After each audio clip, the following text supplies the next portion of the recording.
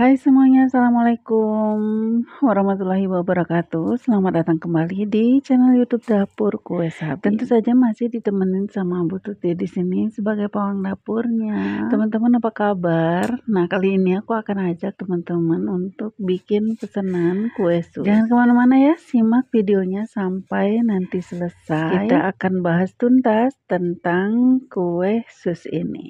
Setelah yang satu ini.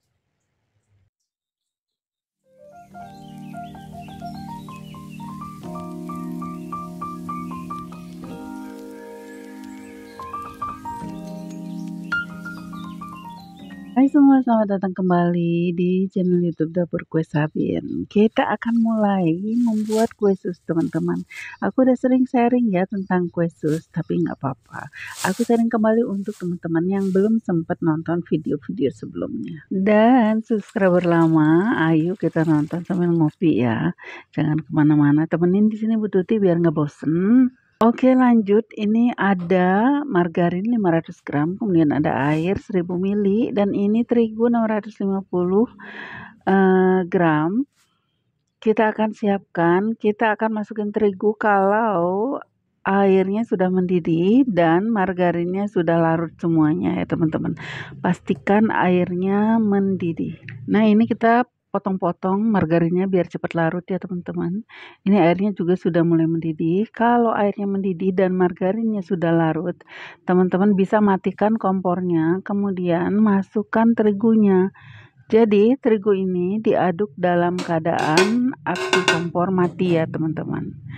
Nah kemudian kalau udah sampai di tahapan ini teman-teman aduk yang cepat diaduk cepat bisa pakai wajan bisa pakai anti lengket kayak yang aku punya. Nggak perlu pakai whisk ya teman-teman. Pakai cukup pakai spatula atau sendok kayu seperti aku ini. Aduk cepat supaya terigunya itu cepat menjadi kalis ya teman-teman. Kalau terlalu lama ngaduknya airnya itu suhunya keburu turun nanti e, rentan gagal susnya jadi aduk cepat sampai semua terigu itu menyatu dengan larutan margarin ya teman-teman. Jangan sampai ada yang masih gumpalan-gumpalan putih terigu.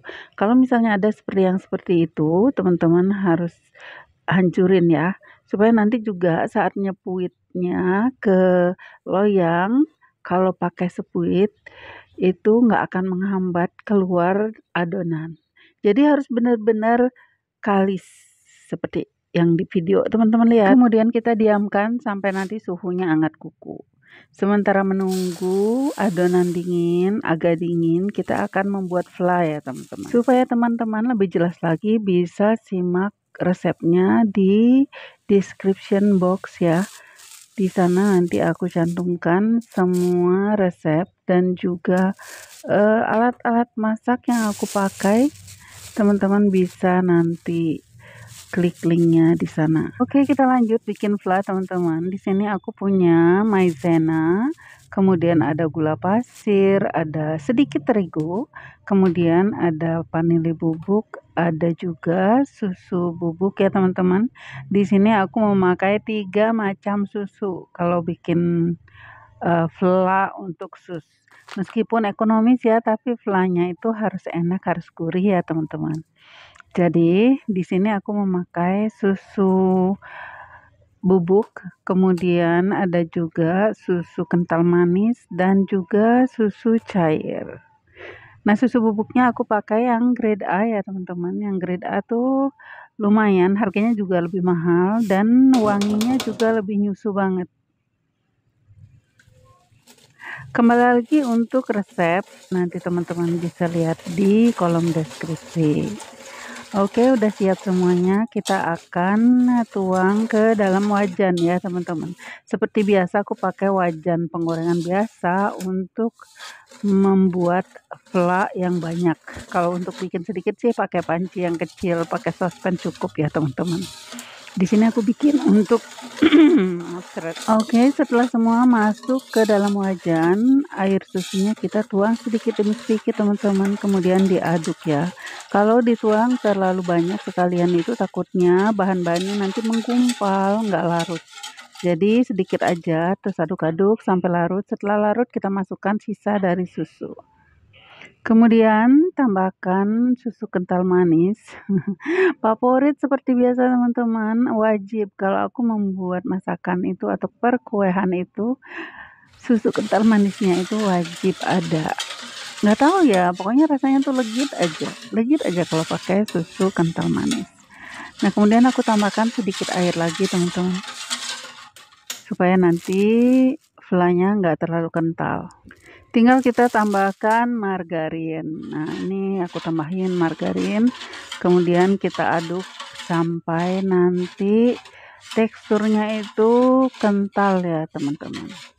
Margarin itu bisa juga dimasukin setelah nanti kalau tekstur flanya kental. Tapi aku biar satset biar cepet langsung aja masuk di dalam ya di di awal. Nah hasilnya seperti ini teman-teman. Ini sudah ya udah meskipun sedikit encer tapi nanti kalau udah dingin dia akan kental teman-teman. Oke kita sudah mendapatkan fla yang kita inginkan dalam jumlah banyak. Tunggu kelubuk-kelubuk seperti ini berarti tandanya sudah siap flanya. Kita matikan kompor ya teman-teman. Kita pindah ke uh, adonan karena ini aku ngerjainnya di jam 2 pagi, tentu lagi-lagi tentu aku beberapa kali bilang di konten kalau jam 2 pagi tuh kerja aku lebih senang pakai mixer duduk ya teman-teman, standing mixer supaya nggak berisik. Karena memang si Wilmark ini yang aku pakai ini silent banget teman-teman, nggak ada suaranya. Untuk teman-teman yang kepo dengan harganya, bisa nanti klik link di kolom deskripsi ya. Nah, ini bahan yang tadi kita diamkan sebentar sampai hangat kuku, kita masukkan ke bowlnya untuk pemakaian telur. Kemudian teman -teman, kita akan tambahkan ya. telur. Kalau teman-teman pemula misalnya, masukkan telurnya itu sedikit demi sedikit aja sambil di mixer. Takutnya eh, teman-teman uh, belum bisa ngukur gitu ya tingkat kekentalannya. Sebenarnya ada trik sih kalau misalnya keenceran ataukah kalau kekentalan gitu kan enak ya tinggal nambahin telur. Nah gimana kalau keenceran itu sebenarnya ada trik ada cara untuk menangani itu teman-teman supaya nggak gagal susnya supaya nggak kayak dorayaki. Tapi kayaknya aku nggak bisa jelasin di sini karena lumayan panjang sih penjelasannya. Hmm, atau kapan-kapan deh aku buatin mungkin ya tutorial cara untuk nanganin adonan yang kayak kembali ke konten sedikit ada horor nih teman-teman. Tuh lihat mati lampu. Mati lampu tuh bukan mati lampu apa teman-teman? Tapi dia konslet.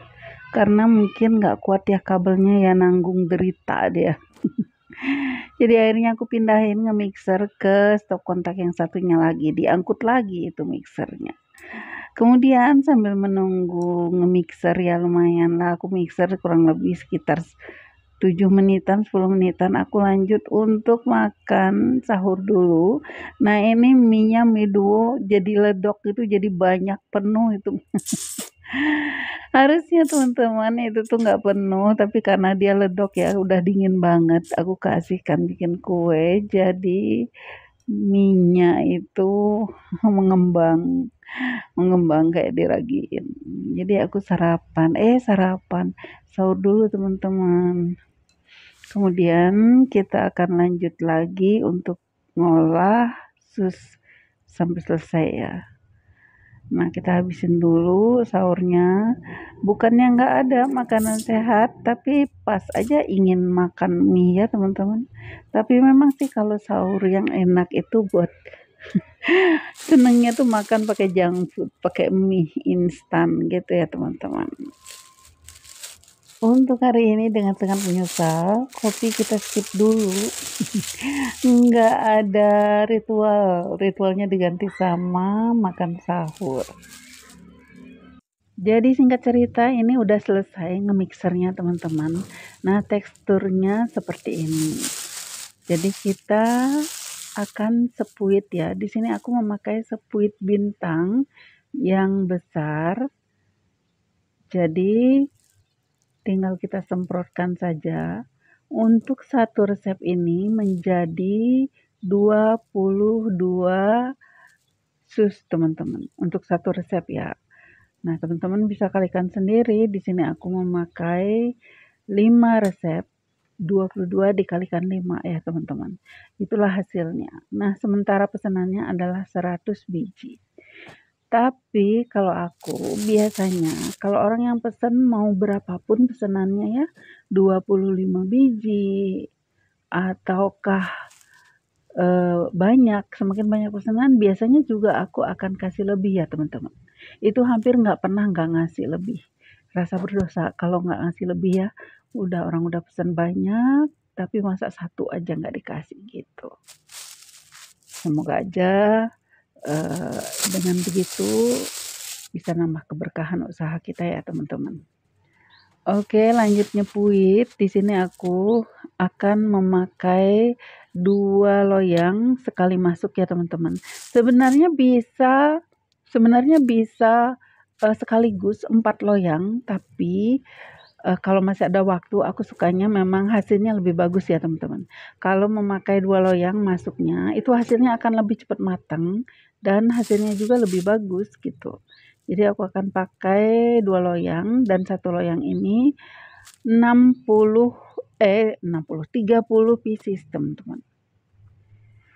Tadi itu aku udah panasin ovennya. Sekarang ovennya itu di suhu 200 lebih dikit ya. Suhunya teman-teman bisa lihat itu di uh, termometer ovennya. Api atas bawah nyala. Nah, kita akan letakkan loyangnya di rak bawah aja ya. Dua loyang aja.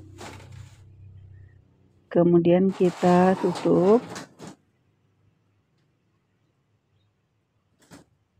Nah, kemudian kita akan langsung lanjut lagi untuk mengisi loyang berikutnya ya, teman-teman. Sambil nyepuit, aku mau curhat sedikit buat ke teman-teman ya. Nah, saat membuat sus ini, sampai bisa di titik bisa dan hafal itu, aku memerlukan waktu bertahun-tahun, teman-teman. Percaya nggak, aku memang orangnya lama kali kalau belajar, alias lemot otaknya. Emang benar teman-teman, lama kali belajarnya. Ini sampai bertahun-tahun baru bisa baru bisa paham dan katam tentang sus ini. Di sini aku cek dulu untuk sus yang tadi aku masukin pertama. Ini ternyata warnanya udah kecoklatan dan udah mengembang, teman-teman. Udah mengembang meskipun ada sedikit bui-bui, tapi aku langsung masukkan aja loyang berikutnya.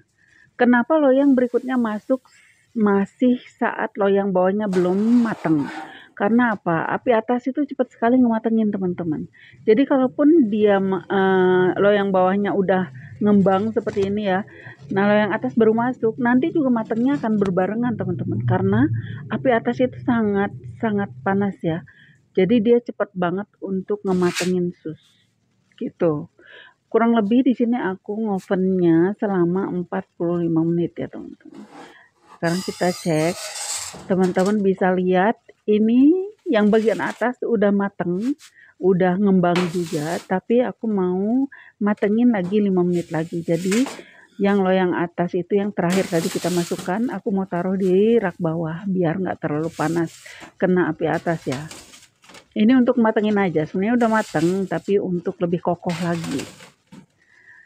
Nah sekarang kita lanjut lagi ngisiin susnya ya teman-teman ini dia hasil dari kerjaan kita tadi ya.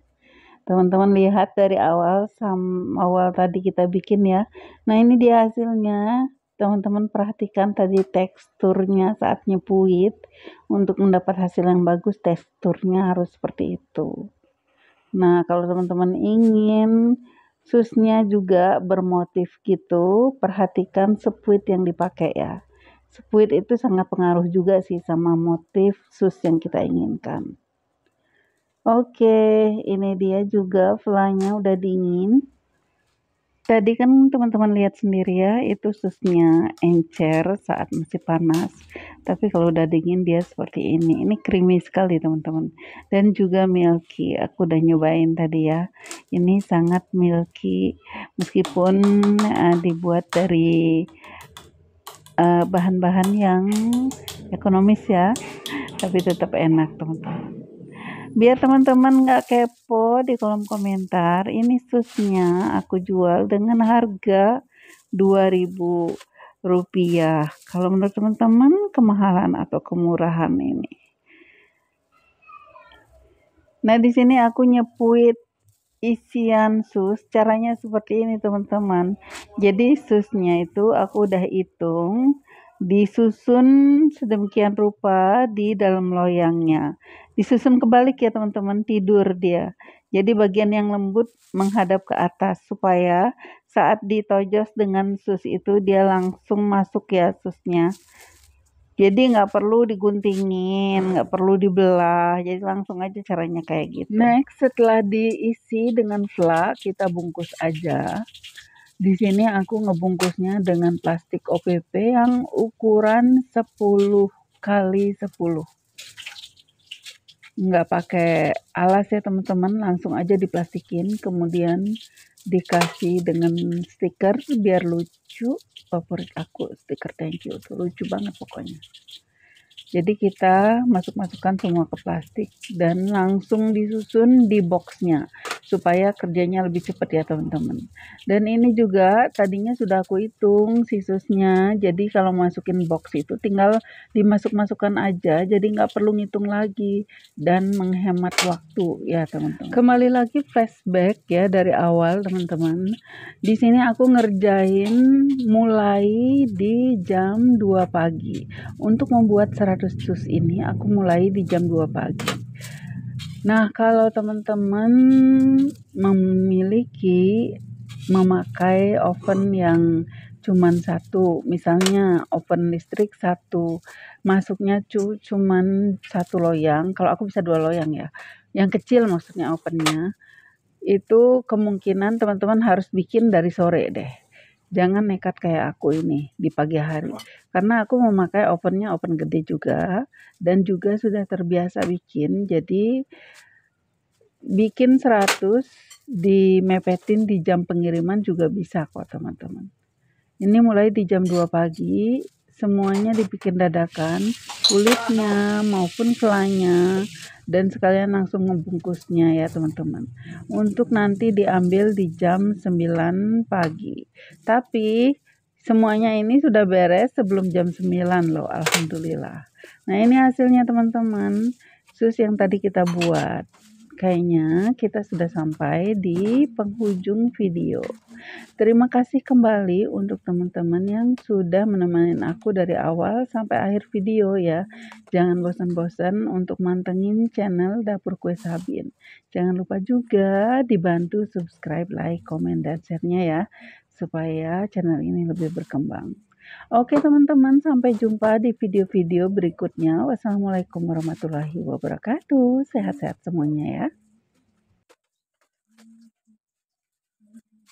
Thank you.